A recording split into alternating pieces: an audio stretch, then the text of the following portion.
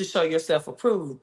And so with this, um, Tony, Pastor Tony Evans resigning over a mega church in Texas, I thought this was a perfect live stream. I am going to live stream about crypto later, but I thought this was the perfect live stream to talk about the importance of having a relationship, a personal relationship with God for yourself, in which you are in communication with, and the the importance of studying scripture for yourself, not just being read to, but cracking open or opening that book and you actually doing the reading as well. So I didn't do my live stream yesterday. The Tony Evans news came out today. And then uh, I'm on TikTok, right? I'm on TikTok and I hear this pastor on TikTok said say say this. The pastor on TikTok said, uh, reference the scripture from Matthew. I think it's Matthew 22 and 14. And if I'm not right on this, this but it's in the it's in the it's in the book, it's in the Bible. And the scripture that reference many are called, but few are chosen. And so this pastor gave the example that he had three children, right? Two um, girls and a boy. The boy is 32. The second, um, well, the first daughter is 18. The second daughter is 16. So the pastor give this reference that, you know, I want my um, one of my children to carry out instructions for me. I want them to do something. He said, so I'm I'm thinking about calling my 32 year old son to do this, but I'm thinking if I ask him to do it and give him the money to do this, he would just spend the money, you know, recklessly. So he said, so now I'm thinking about calling my second daughter, the 16 year old, and I feel like she will be responsible with the money, but she'll forget what I asked her to do. So I thought about calling her secondly.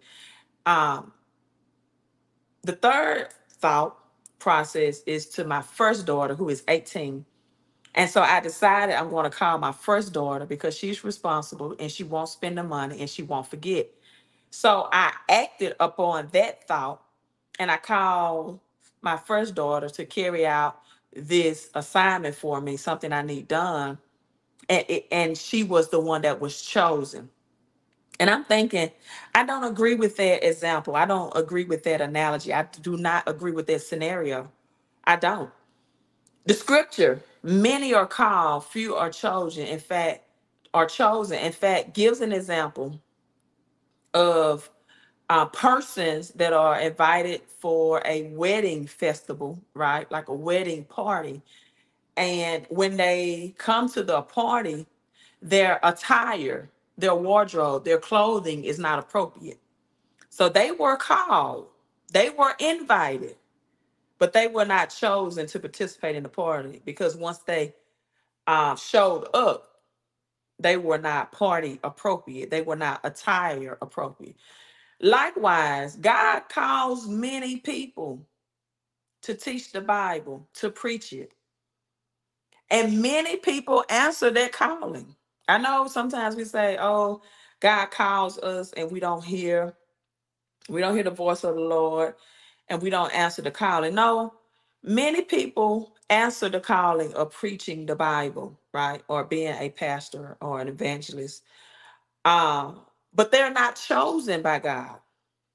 See, you can have a calling on your life to teach something, but God not choose you to do it because your attire, your clothing, your whatever, your flaw is not appropriate. And that's why I'm not in a church setting teaching, but I'm choosing to teach this way through social media. Right. Now I'm not saying I'm not chosen by God, right? I'm not saying that this this is my preference. But many people who prefer to be in a church setting, who prefer to be in a pulpit, who prefer to go by titles, pastor, evangelist, bishop, God called them. He gave them a calling sometimes, sometimes to do that. And they accepted the calling, but he didn't show, he didn't choose them. Like, you know what? I'm, I'm gonna call you. I'm gonna place this in your heart and your mind, your desire. But you got some flaws. You're not appropriate attire. You got some things you need to fix. So you're not my chosen one. And many people are still operating in that calling, but they're not chosen. So that's the way that I took this. Now I'm I'm gonna get into the second part uh, that was on my mind yesterday. And this is the law of sowing and reaping. I can tell you as a PK, as a preacher's kid, the law of sowing and reaping. Again, you all come in, say hello, uh, hit the like, hit the share button. Has been taught absolutely the incorrect way. Have been taught absolutely the incorrect way uh, in churches over the years that I have attended. Now, if you are watching this live or on the replay, and you have ever given, let's look at Malachi, or let's revisit, or let's discuss Malachi chapter 3, the famous text that many is their go to text on tithing. And in Malachi chapter 3, we see that um, this is, see, the back setting of this is not properly taught, right? The, the, the setting of this. What happened in Malachi chapter 3 were the covenant, the covenant of land was given by God, right, to that chosen group of people. God bless them with that land. It's synonymous that you have land um, that you want to give to your children and you pass it on through your will or through your trust or whatever. And now your children inherit that land. They have the land. That was your covenant with them. That was the promise. And so you give them the land and you and you tell them now, as a part of this covenant or contractual agreement, I want you 10% of your crops to give to the Levites, to give to the priests of the house, so that there may be food, there be there may be food in my house, meat in my house, right? Agriculture, crops. And when they inherit the land, they did not fulfill their part of the covenant or the agreement or the contractual obligation. They wanted to keep 100% of the crops of the harvest that they brought in. And God said, um, You're robbing me. You're robbing me. And they said, How are we robbing you? He said, You're robbing me. Will a man rob God? And they said, Well, how are we robbing you? He said, You're not fulfilling your agreement. I gave you the land. You're not fulfilling your agreement to give the 10% to the Levites, to the house. And he said, If you don't con- fulfill your part of it, see that that debunks the teaching that you tithe to get a blessing. No, no, no. Malachi chapter 3, they tithed from the blessing. They got the blessing first, which was the land, right? They tithed from the blessing, not to get the land. They tithed from the land. They got the land, the covenant, the contractual agreement between them and God. They got that first. And then they were told to tithe from the blessing, not to get the blessing. That's another thing Miss taught. And so he said, so if you don't fulfill your your covenant, contractual agreement, I'm going to cause your crops to be destroyed, your harvest. No rain. I'm going to shut the rain up. I'm not going to allow you to have a blessed crop. He said, but if you obey me, put me to the test, put me to the test, says the Lord of hosts, and see when I not open up the windows of heaven and pour you out a blessing that you will not have room enough to receive. He said, you know, if you don't tithe from the blessing I gave you, I'm going to shut the windows. You won't have any rain. You won't have any uh, crop. You won't have any food, right? But if you, if you obey me, just put me to the test. Now I'm gonna ask this question. I want you all to be open, transparent, and honest with me. Again, whether you're watching this live or in the replay, how many of you all have tithed and gave a 10% and of your income and you've ever seen that you've had so much money to come behind that tithe that you didn't have room enough to receive, that the windows of heaven open up and you just didn't have enough, you didn't have enough limit on your bank account. You didn't have enough bank accounts to cover the amount of money, the influx, the inflow of money that came in. Latoya, thank you for tuning in and being honest. She said she's never done it. Well, let's let's break this down. And I'm gonna ask you all this question, and I'm looking down because I'm referring to my notes. Um, what have you been taught about money in the Bible? There's over 2,000 scriptures in the Bible when it comes to money, right? Um, Toy said tithing did make a little better. TBH, I don't know what that means. To be honest, it made me a little better, or did it make you a little bitter? Can you elaborate on you know what you mean by that for me? So let's let's start off with Luke 6 and 38. Ooh, this is one that I have known for years to have been mistaught. Luke 6 and 38. Giving, but giving what? What does it mean to give what? Luke 6 and 38 says, But I say unto you, which hear, love your enemies, do good to those or them that hate you, bless them that curse you, and pray for them. Ooh, pray for them that despitefully use you. Mm. Toy said, made her bitter. Okay, okay. Everybody else come in, make a mind message connection. Pray for those that despitefully use you. And unto that smitteth, right, or hit you on one cheek, take away that cheek and turn to every man and ask. Um, no, no, no, I'm sorry. I'm talking about something. And unto him that smitteth thee on the one cheek, offer also the other one. That means okay, they slap you on one cheek, then say, okay, here, you can have this side too. Slap me on that one.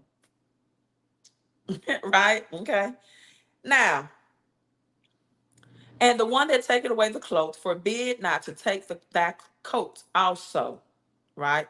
Give to every man that asketh of thee, and of him that taketh away thy goods, ask them not again. As you would that men should do to you, as you would that men should do to you, you also should do unto them, or do unto them likewise. For if you love them which love you, right? What thank have you?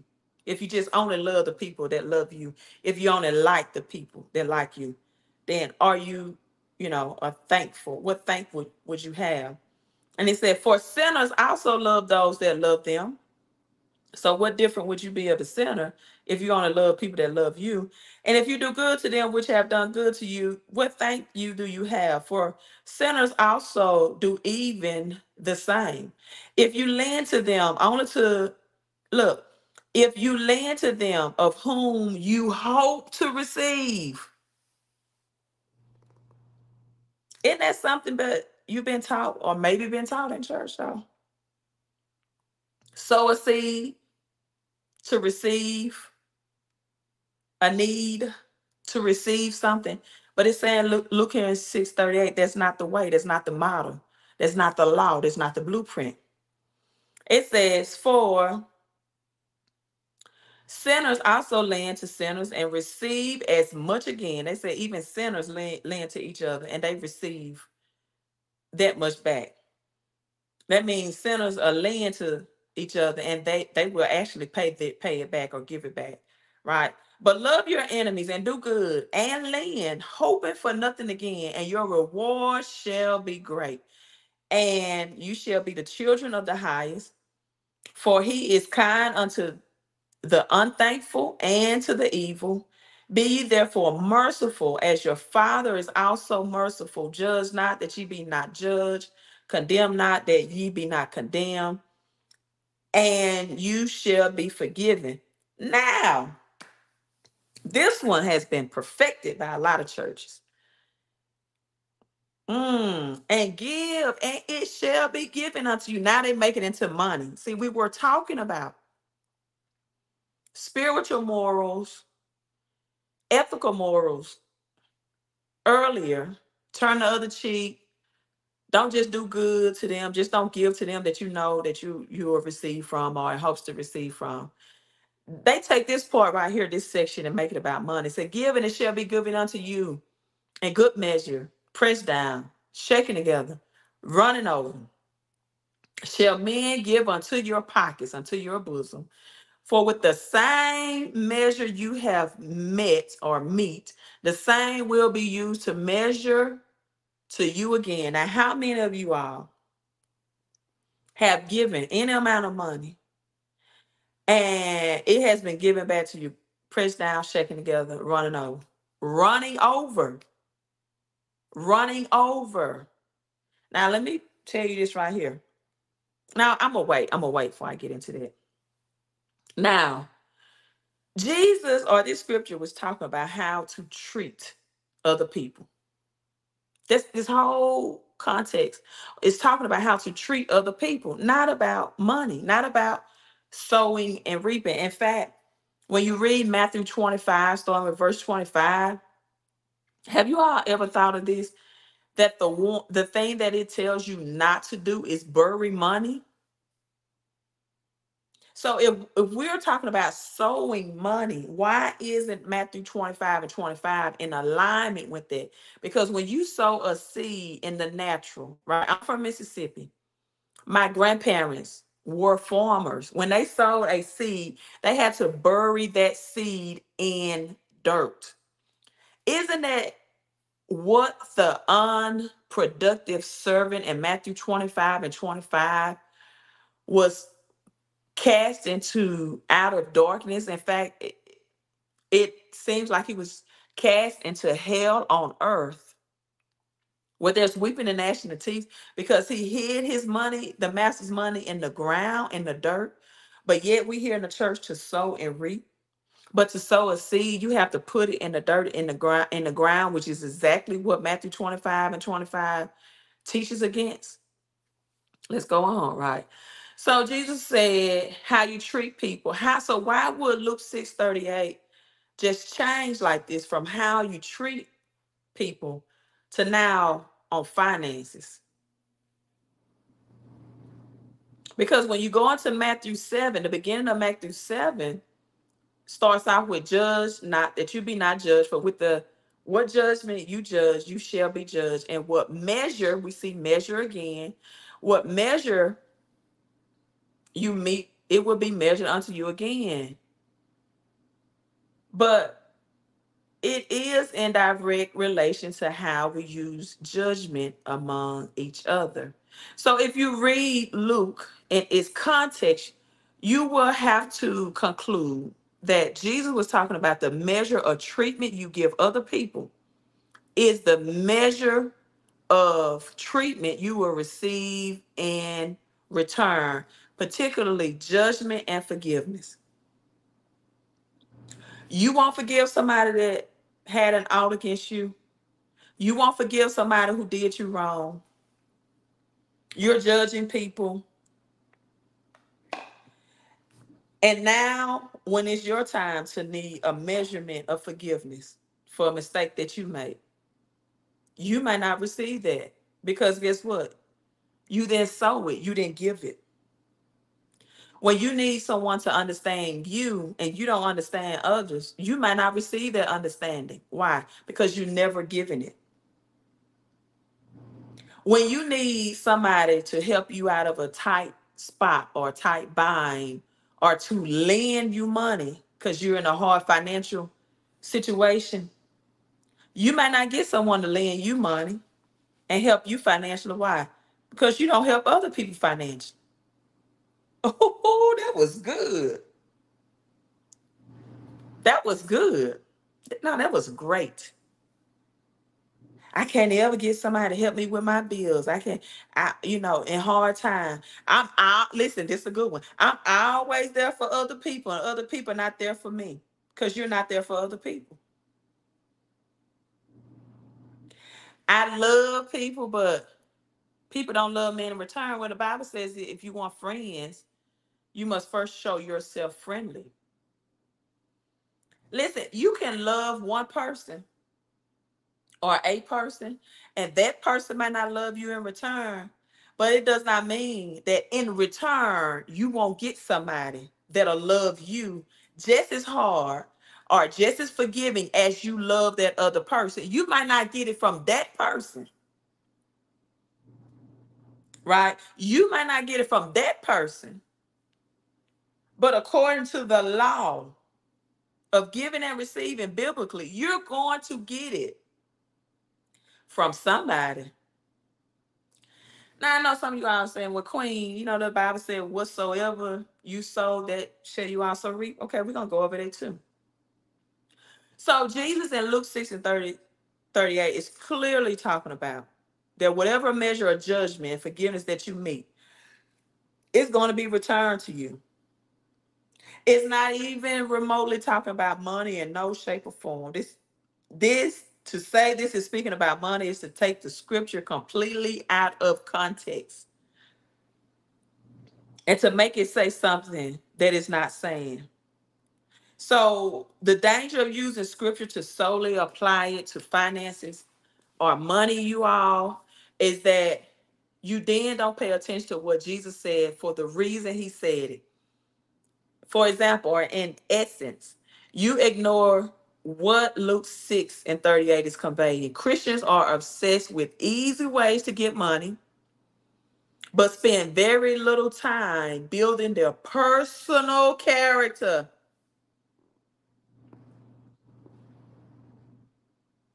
Jesus, Luke 6 and 38, is addressing character issues. That's what he wants, or that's what that scripture wants you to pay attention to, not money. Character issues that completely over ignored. When you need forgiveness and then you don't get it because you don't give it away. When you need somebody to help you out of a tight spot and you don't get it because you don't give it away. When you don't return phone calls. And then when you really need somebody, you're you're you're calling and nobody answers and they don't return your call. This is what this was talking about. So let's let's go over this. First Corinthians 9, another one. Do I want to do that one real, right here? Let's see, let's see, let's see.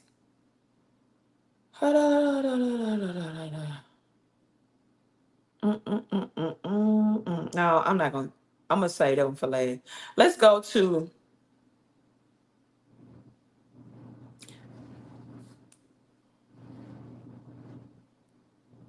Second Corinthians, not first. Let's go to Second Corinthians. Second Corinthians 9, right? Speaking of your heart of the giver, right? Contextually, what was Second Corinthians you're talking about? Paul. Thank you, Latoya. I need some more amens on this Monday night live stream. Notice I didn't do it in my Jeep, so music won't distract me, but I love music. Uh Paul in Second Corinthians 9 is speaking of giving materially. He is giving materially and financially in 2 Corinthians 9 and 6. And Paul gives the assurance or affirmation that your harvest or your good investment into kingdom business, right, will come back to you, come back to you in response to the degree of your sowing.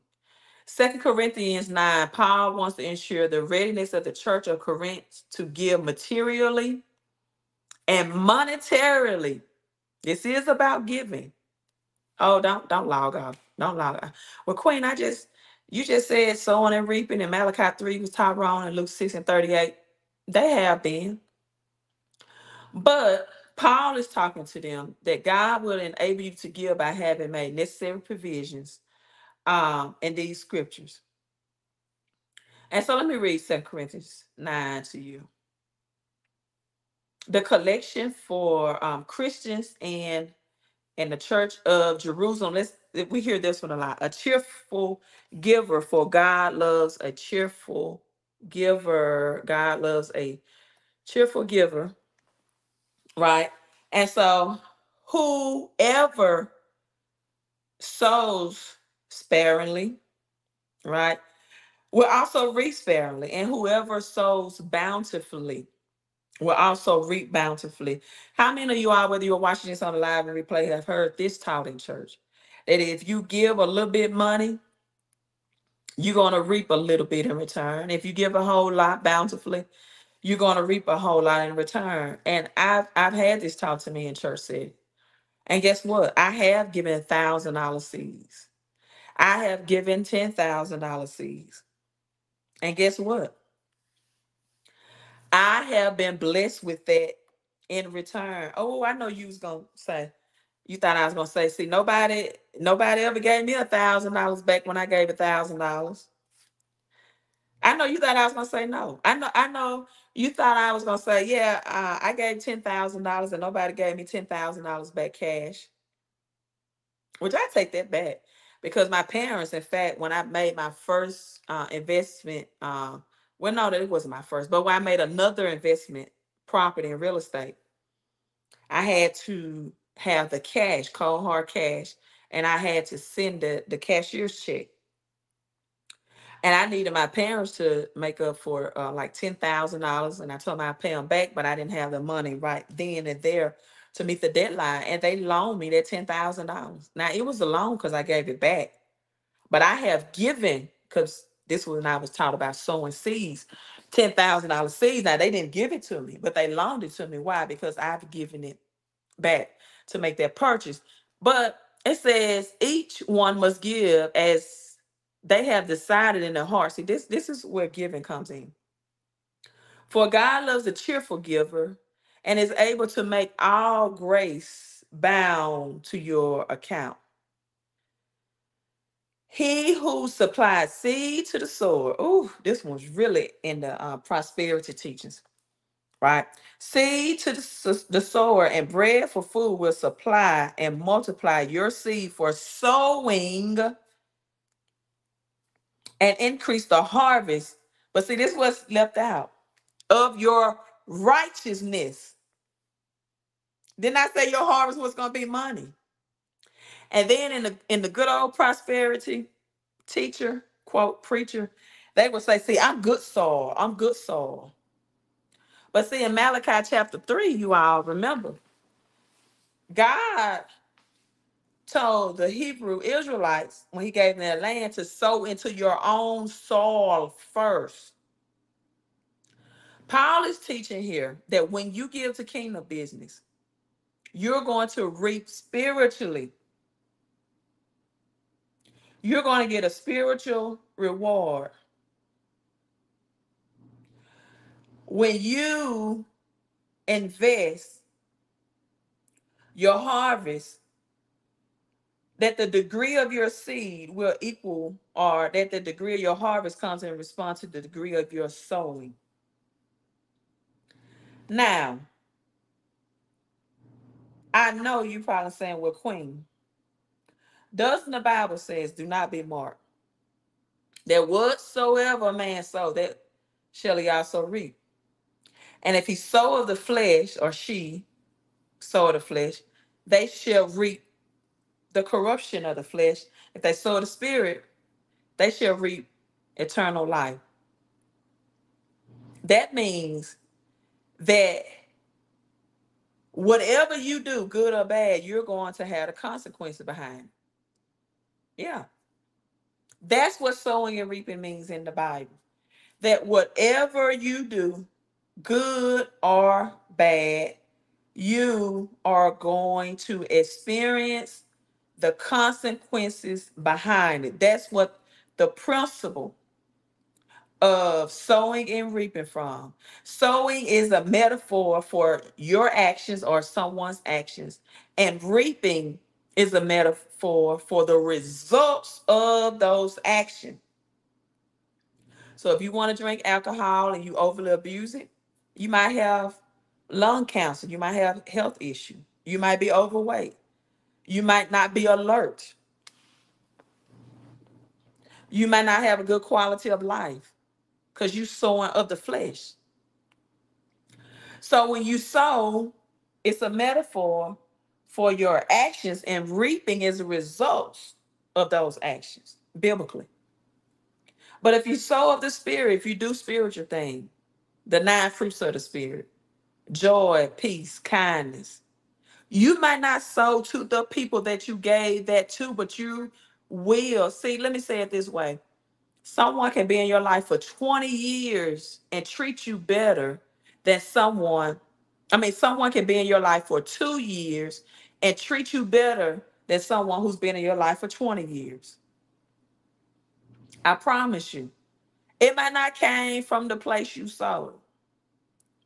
And another thing me and my friend guy was talking about, and I'm logging off, was that people don't understand the work that it takes to reap a harvest anyway. Sometimes it's taught in the Bible that we should not ask for God because the Lord's Prayer says, Our Father know what we have need of before we ask, before we even pray. But that still does not say not to ask. That does not say, Well, I already know what you need, so don't ask. No. My daughter asked me for things that I, you know, and I can know she needed. But she's still going to ask. Look, a four, a five, a six-year-old child, they're gonna keep asking. And they might not need, they might not even need that ice cream cone. They might just want it. But they're asking because they know you as the parent can provide it and are supply it to them. When you ask God, when you exercise Matthew 7 and 7, and the Lord's Prayer said, I know what you need before you even ask. So when you start, start the prayer like this Our Father, which art in heaven. He said, Don't even start the prayer asking me for stuff. I already know what you need. How about hallow and praise my name and give me some reverence and thanks first? It's like the child that always come and asking you for things and never say thank you or never tell you how great of a parent you are. You don't want to give that uh, ungrateful child what they ask for. So God said, you know, you asked me, but reverence my name first. Reverence that you know that I'm your source, that I'm the person that can provide that for you. A child does not ask a parent for something that they don't feel like that parent has the power to give them. Mama, can I have this toy? Can I have this ice cream? Can I have? They're gonna keep asking. They don't even need it. They reference you as the person, as the parent. They respect you that I know you can give me this if you decide to. So I'm going to ask for it. And that's Matthew 7 and 7 says, Ask and it shall be given. That's a biblical command to ask. It also says in James that some of you all have not because you ask not. And let me say this, and I'm not going to elaborate on this, but prayer is both an art and a science. Some people don't know how to pray. Prayer is both an art and a science. That means that you begging God to pay your rent is not prayer. You begging God to pay your bills is not prayer.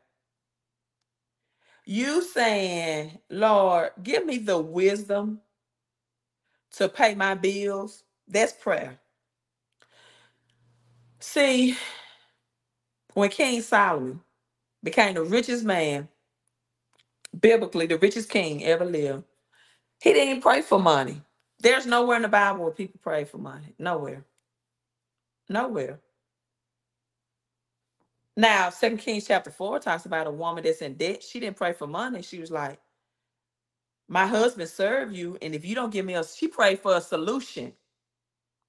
She told Elijah, Elisha, look, if you don't solve this problem for, for me, uh, my sons are going to be sold into slavery, meaning they're going to have a job and have to work for somebody else. And Elijah or Elisha, however way you pronounce it, said, Let me give you the solution and strategy to have your sons work for you in a home-based business. And the woman became debt-free. And then he went on to the woman who was about to bake her last meal for her and her son and die. And he said, No, let me give you a strategy. Give, give me a piece first.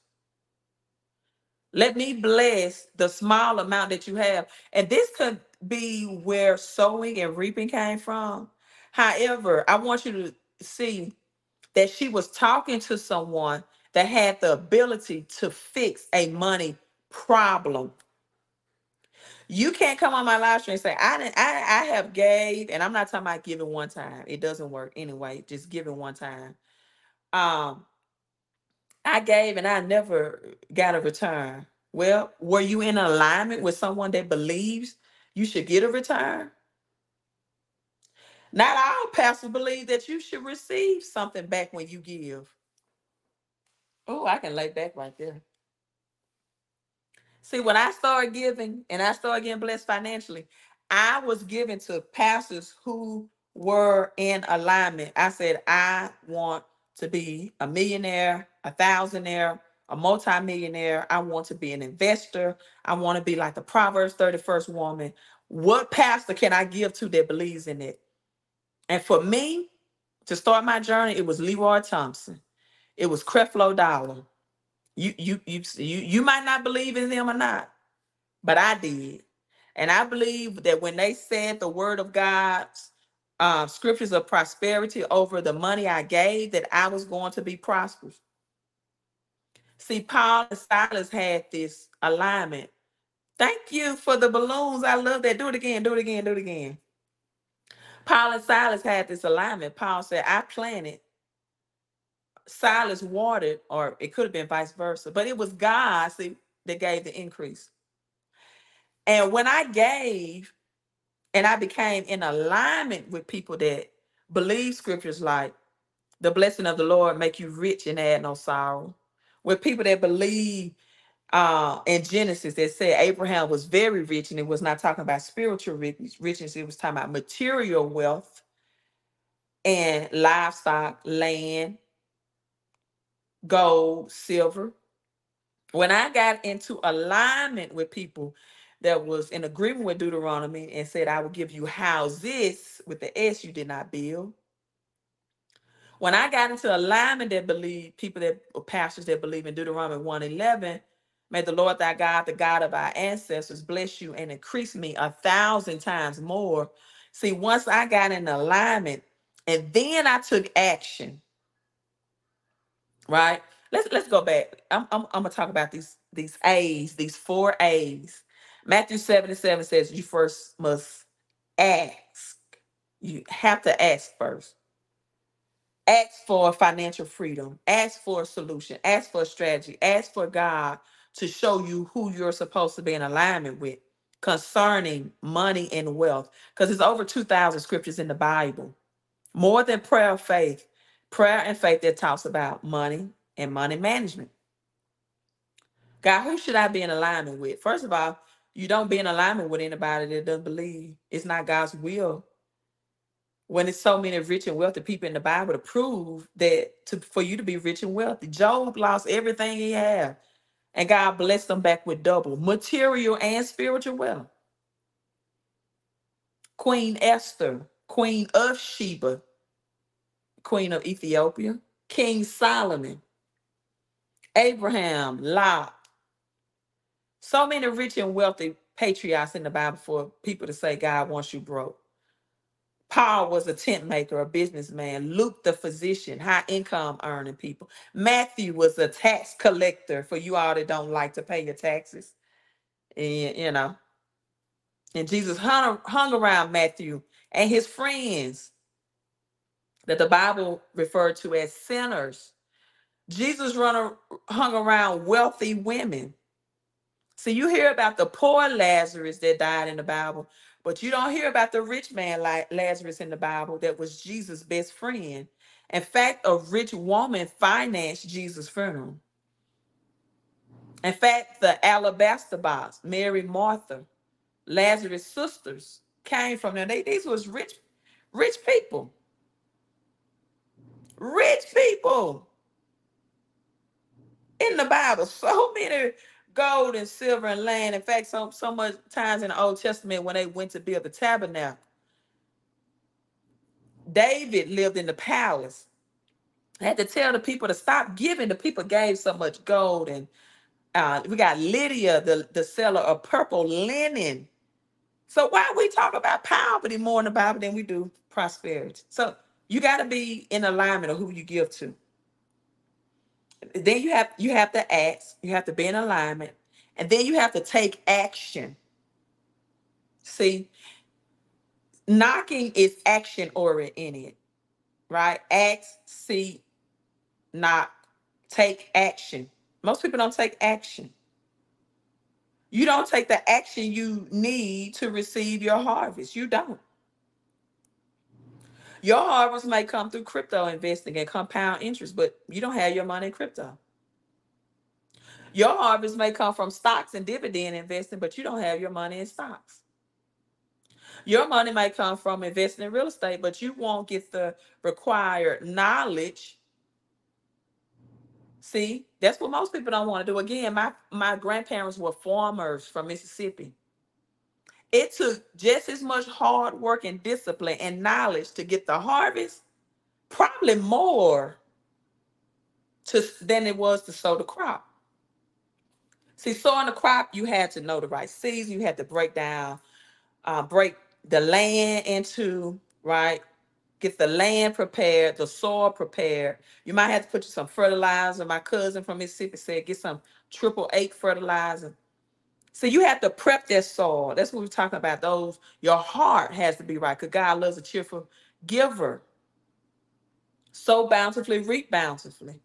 Don't give out of grudge or necessity. What's your attitude when you're sowing?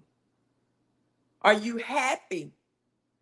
See, money does not buy happiness, but happiness brings money. Let me say that again. this is true. Money does not buy you happiness, it won't make you happy. But money, happiness bring money. If you have a waiter or a waitress that's serving you food and they have a happy attitude, you just want to give them a good tip, don't you? You want to give them the best tip. They serve, I hope you do. They serve you well. People that's that's joyous and happy that stay around you. You out, you don't mind giving to them, lending to them if they come across hard time. Why? Because they have a, a joyous spirit and attitude. They're not mean and grouchy and talk to you grudgingly all the time. See, money does not buy happiness, but happiness bring money. It does. It does. People do not mind giving to happy, joyful people. So you have to be in alignment. You have to act and you have to be action oriented. You have to take action. And you have to, I said four A's, acquire knowledge on how to harvest. See, the method my grandparents used to harvest the crop was not the same method that they used to sow the seed. They had two different tools, two different skill sets. In fact, they had to protect the seed once they sowed it. Sometimes they planted a scarecrow, right? A scarecrow to scare away the birds that would eat the seeds. And then they had to protect the seed from the scorching sun. They had to hope that it rained, that the conditions, right, will present themselves. This is where we get Malachi 3 from. Open up the windows of heaven, pour you out a blessing. The windows of heaven represented rain coming down from the clouds from heaven, right? And it will bless the crops. God said, I'll bless your crops. I cause conditions in nature to bless it. And then they have to keep the weeds out, right? And then they had to know, they had to have discipline. They had to get up every day. They didn't just plant a seed and now, oh man, I'm chilling. I'm good. I'm gonna get a harvest. I, I'm planting the seed. I'm, I'm expecting this unexpected blessing. No, they were expecting a harvest because they got up and worked every day towards getting the harvest. Oh, ooh, that was good. That was great too. They could expect the harvest because they got up and did the work every day to get a harvest. You just don't sow a seed and say, "Oh, the work is done." No. Oh, I'm gonna get a. I'm gonna. I'm gonna sit by the mailbox. I'm gonna get an unexpected check in the mail. Bills paid off. You see if your bills get paid off if you don't pay the bill and collect on time, and you don't want to go to work. I saw this joke one time that was written on the wall that says, um, this person said, I want to go on a vacation. Where should I go? And the bank, their bank account responded to them and said, to work. All right. You don't have the money to vacation. takes discipline to get the harvest. It takes knowledge. When you're harvesting a large crop, you got to have different equipment. If you want to get that crop, crop in time, harvest before it dies out. So that means you got to have knowledge base and you have a different skill set. Your harvest may not come in the same manner in which you sowed it. Just same thing I said about your character.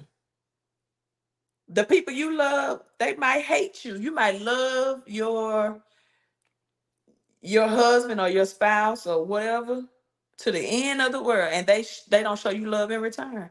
It may not come from them. It will come some through somebody somewhere at some appointed time. It's good to have it come to that person, but it might not come to that person. The same thing with your finances. So, am I trying to discourage you from giving? No, I'm just teaching you the truth about the law of sowing and reaping as it should be taught and tithing in the Bible. Now, I'm, I'm going to end on this. I said that praying is both an art and a science. So, what do I mean by that, Queen? Most people don't know how to pray. Science is uh it seeks to understand something. Science seeks to understand how to pray, right? Through rigorous observation, right? I'm seeking to through experimentation. Art explores through emotion and experiences. So when you pray,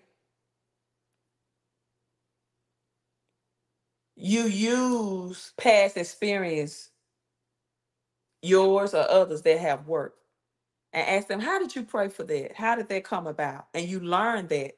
That's the art part of it. You do what they did to get what they got. The science is through observation. Many people don't believe, for example, in affirmations. I believe in affirmations because I believe in affirmations that people have said and done in meditation. Matter of fact, Joshua says, if you meditate on my word day and night, you will have good success. Most people don't meditate. They don't get a, in a state of quietness. You know, God said, My voice is a still small voice. People don't listen. They talk more than they listen for the voice of God for instructions. Right. And so it's a science and an art. It's knowing what to say, how to say it, and in each particular situation is different. There's nowhere in the Bible where you pray for money. You pray for knowledge, you pray for strategy, you pray for a solution. In fact, King Solomon says, Lord, give me the wisdom and knowledge of how, di- how to direct or lead your people. Give me leadership skills. And as a result, God visited him. King Solomon presented a burnt offering to the Lord, and God made visit him and made him the richest king ever recorded biblically, richest person ever recorded biblically. But that's Queen Sheba was rich too. We don't know how she accumulated her riches, right? So Solomon didn't pray for money, he prayed for wisdom and knowledge. Likewise, you should too. Another reason, and we're talking about giving, and I'm on here way longer than what I intended, almost an hour. That people do not receive their harvest in return when they do give money, not sow it. Right? Matthew 25 says we should not bury our money in the in the in the uh, ground. But First Corinthians 9 says, if we have sown the good seed of spiritual things in you, isn't it our right? Shouldn't we receive your material things? See, I talked about being in alignment. You all will hear me or other people talk about prosperity, talk about my levels, talk about that I have given to people that are more, that were more prosperous than me. And because they were in agreement, that's another A we can add. Acquire knowledge, we can make a five. Alignment and agreement. That I did get a harvest or I did get a return back in multiple thousands, but it didn't come back in cash. It came back in my knowledge, information, and taking action. I said action, take action in investment world. Matthew 25 breaks that down as well. That the, the one that received five talents, five gold, bags of gold, went and traded immediately. Immediately. Then the other received two. It just said he went and traded. Trading is a financial skill set. The one that received one bag of talent went and hid and dug it in the, in the ground. That's why sowing and reaping money is not biblical. But you don't give to, to people that teach you about finances. And so your the information, the knowledge, the action that it takes, you never possess that because you never give to the people or me, for example, that's teaching you how to do it. You just want to take, see, I, we talked about earlier, Luke 6 and 38, talking about the character of people. People that just want to take something from someone that's helping them knowledge wise, but never want to give back. And you wonder why your seed or your giving, you never get a return because you're giving to the wrong people. You're not giving to people that's in agreement and alignment, or you're not giving at all, and they are giving to you. So let me finish reading First Corinthians chapter nine. They're giving you spiritual, and I, I do. Uh, I my purpose on this earth is more about material blessings. If you don't like, if you don't want to be rich, if you don't want financial freedom, if you don't want financial independence, I'm not the person for you to follow. If you just want to die, pay bills, work, and in the afterlife, figure out which heaven you're gonna go to, because the Bible talks about at least three heavens, right? And and try to figure out which heaven you're gonna go to. When in Genesis tells us that we are to subdue, multiply, have dominion over earth. When scripture says the highest heavens belong to the Lord, but the earth I have given unto mankind, when we're supposed to have dominion on this earth, right? When Genesis 8 said Abraham was very rich, and when talking about spiritual riches. But if you don't want that on in this life, you're finding the wrong person. That's not me. And so goes on, First Corinthians 9. Am I not an apostle? Am I not free? Have I not seen Jesus Christ our Lord? Are ye not my work in the Lord? If I not, this is from Paul, if I be not an apostle unto uh, apostle unto others, yet doubtless I am to you. The seal of mine apostleship are in the Lord. My answer to them that examine me is this: Have you not power to eat and drink? Right, and then it goes on to say, For it is written in the law of Moses, Thou shalt not muzzle, muzzle the mouth of an ox or tread it out of the corn. But don't God still take care of the oxen and set it all together for our sakes? Right. It is written, He that ploweth should plow in hope, and he that threshes in hope should be a partaker of his hope. If I have sown unto you, if I have given you spiritual things, shouldn't reap your carnal things?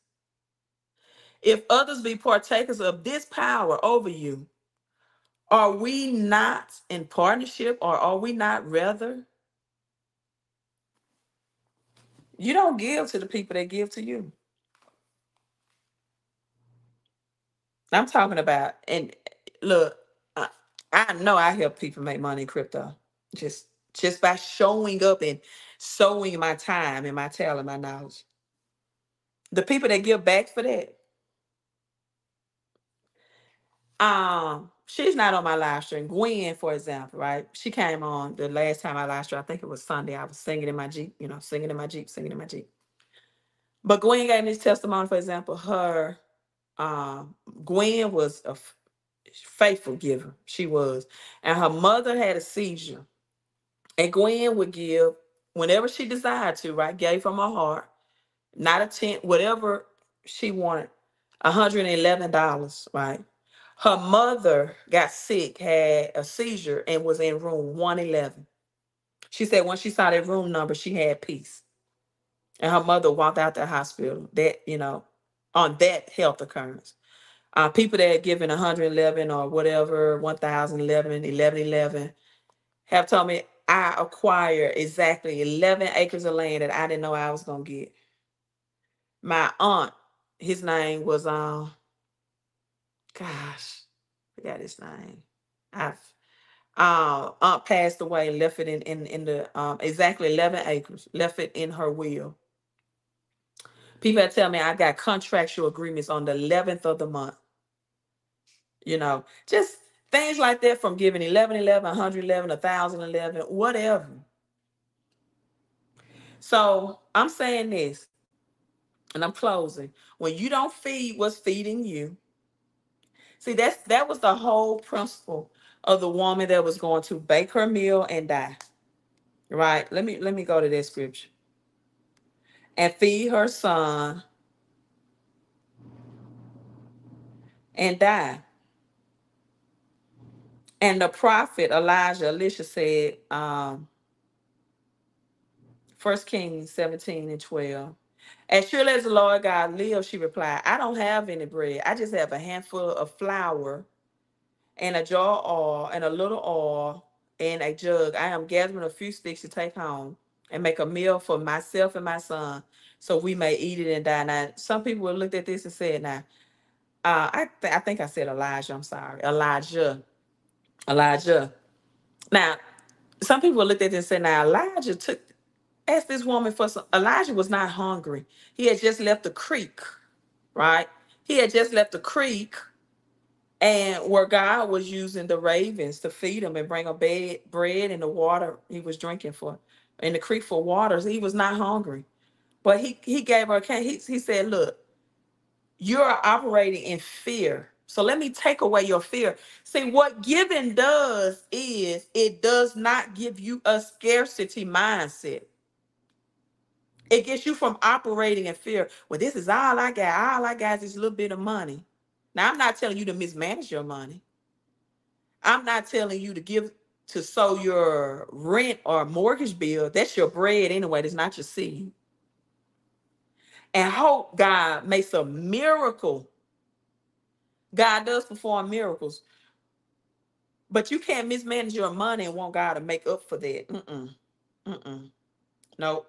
Not how it works. This is not how prayer works. This lady had survived through a famine and she had got to her last meal, the last little bit she had in her house. Elijah, Second Kings chapter 4, he asked her, What do you have in your house? She said, I just have a little bit. That's all, all you need is a little bit. One thing I do agree with that a seed will meet needs, bigger needs. It takes away that scarcity mindset.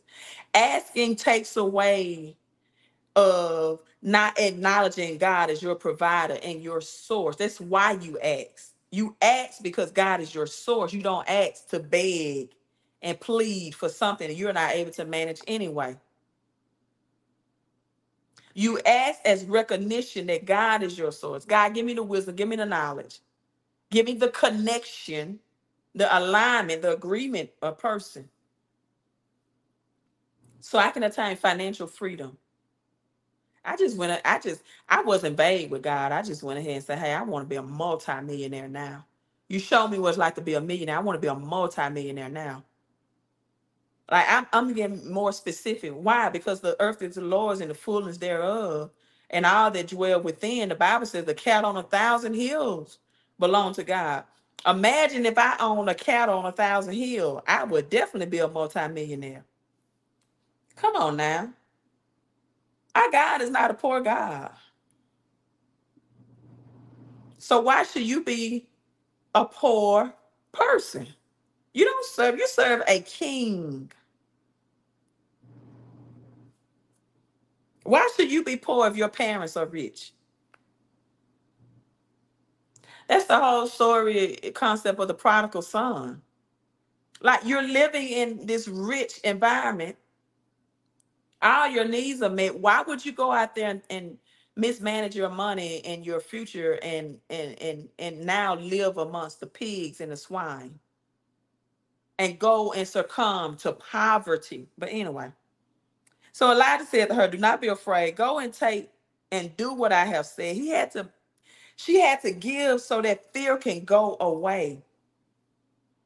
You have to understand that money will always come back to you, circulate back to you with the joy and the happiness that you circulated it out.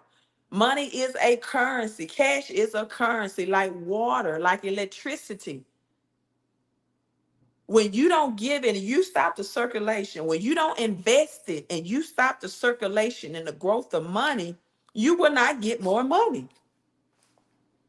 Has nothing to do with sowing and reaping. When you don't give it to people that you're in alignment with, in agreement with, when you don't invest it, the Bible talk about investing. I won't go into that. Or should I? Um, it's, it's over an hour anyway. Genesis 47. I'm gonna read this. So when the money failed in the land of Egypt and in the land of Canaan, all the Egyptians came to Joseph and said, Give us bread, for why should we die in your presence? For the money has failed. Genesis 47, 15. You all, I'm telling you all, I will have to get up and go get my cash. This cash system is about to fail. Mhm. This cash system is about to, to sell. I mean, fail. It's about to fail. The cash fiat system. And crypto is going to be the new financial system. I'm just telling you. So if you want to ask me, well, Queen, where is the Bible talking about investing? Okay, we'll do this. Matthew 13 and 44. The kingdom of heaven is like a treasure hidden in the field. When a man found it, he hid it again. See, he found a treasure, found something of value, hid it again, and then in his joy, money might not make you happy, but according to the Bible, it sure will make you give you joy. Just when I say the word, it forces a smile. See, money, just the E of money forces you to smile, right? And it said, and then he went into the uh his joy and sold all he had and bought that field. This is investing principles. You find something of value, right? And then you hide it again, you don't spend it. And then in his joy, he sold it, he went into commerce. See, money has to grow not only in the hands of a person that's in agreement, alignment with you, but also in the marketplace. The treasure of the field, the treasure hidden in that scripture means that is not yet revealed to everyone. Most people not gonna understand crypto until it just it just comes into fruition. They just not, they just gonna be afraid, they're gonna operate out of fear. Elijah had to tell the lady in First Kings, do not be afraid. Go and do like I tell you to do. In order for you not be afraid, you're gonna have to give to me something. Right? Here's another one: the parable of the pearl of the great price. Again, again, again, the kingdom is like a merchant seeking beautiful pearls, who then had found one of the pearl of great price of value and sold. You won't believe how many people tell me I don't like selling. I don't like selling. You know how much money is made in commission sales? How many Christians say I don't like to sell people? How many Christians have been a part of network marketing? I don't like selling. My family gonna ask me, and this another one those scam again. You know what a scam is? Working 40 f- plus hours a week and you're still broke. Yeah.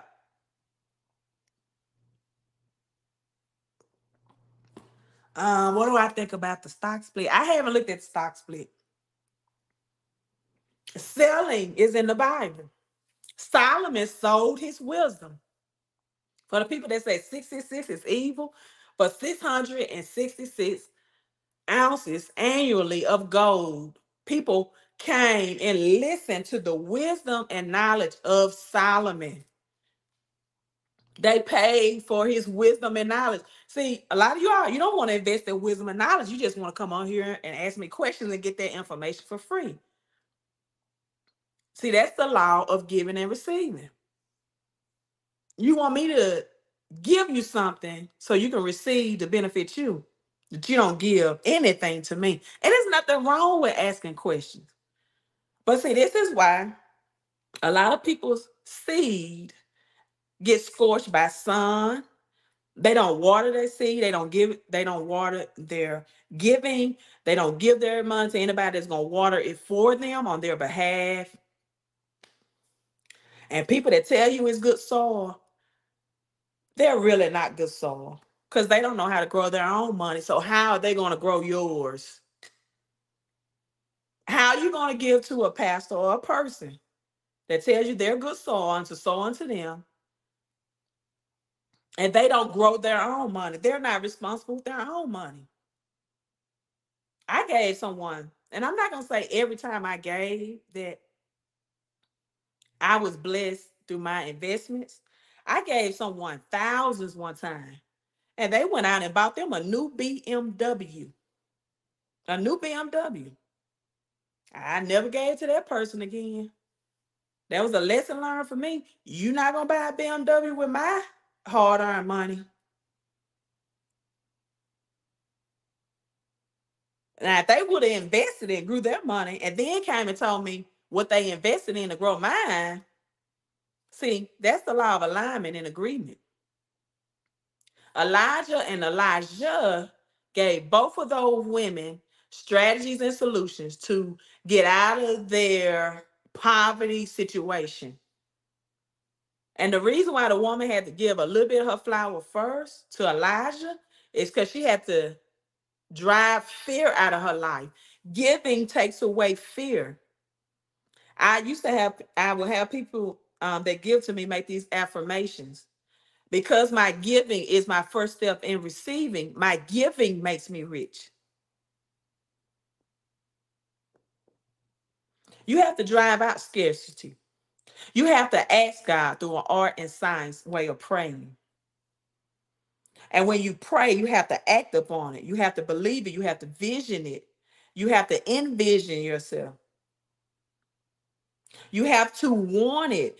Asking is a first step in wanting something. That's why your little kids, that's why your nieces, your nephews ask you for things that they know you can provide. It's not because they don't have faith that you can't give it to them. They know you can give it to them. That's why they're asking. And their asking demonstrates their faith in you. And God, Matthew 7 and 7 says, first you got to ask. You got to demonstrate your faith in me. I have need of, I know what you need before you even pray, before you even ask. So, hallow my name first. Let me know that you reverence me as your source and you know that I can provide each and every one of your needs according to according to my riches and glory. Mm-mm-mm. Oh, we We got a God of infinite sources, but you have to be the resource. You have to know how to harvest. You know how you have you have to know how to ask. You have to know who's your prosperity partner, uh, partner, right? Paul and Silas. I planted one one planet, one water. God gave the increase. You have to know who to give to, and you have to know when to give and when to invest. You got to know when to hold them, and you got to know when to fold them. I'm logging off, you all. Love you all, love you all, love you all. If you're just coming in, uh, I've really talked about the law of sowing, well, and reaping, and how it's mistaught in the Bible. I mean, mistaught from a biblical perspective, but how giving and investing is taught in the Bible. And those are the only two laws and principles that will grow your money, not sowing and reaping. Sowing and reaping is a spiritual, more of a spiritual and a character building thing, right? So if you want to know about that, go back. I talked very little about Tony Evans and his resignation, uh, but I've listened to him over the years, and I pray that he has peace in his decision. I heard that last year, or I read somewhere st- statistically that over three thousand pastors resigned, um, and twenty because of the stress, right? And and out of the three thousand, approximately two hundred and seventy-five committed suicide. There are some good pastors out there. There are some pastors who give their last. There are some pastors who have good intentions. Not all pastors can teach on prosperity. Not all pastors can help you grow your money. But they may help you spiritual wise. They may help you character wise. And believe you me, you need that as well. You need that as well. You need all of it. Don't be rich spiritually and poor materially, and don't be rich materially and poor spiritually. That's the whole story of the poor Lazarus, right? There's and the rich man Lazarus was Jesus' best friend. I'm logging off for the fifth time. I love you all. Make sure that you are subscribed to me, and I will research this stock, uh, and maybe I will live stream about it. I will look at the stock. Uh, I have been looking at more of AI stocks, but specifically um, cryptocurrency AIs having a well diversified crypto portfolio. Queen out.